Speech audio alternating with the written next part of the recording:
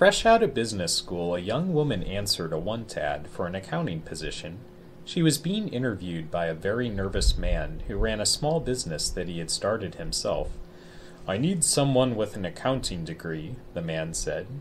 But mainly, I'm looking for someone to do my worrying for me, Excuse me? the accountant asked.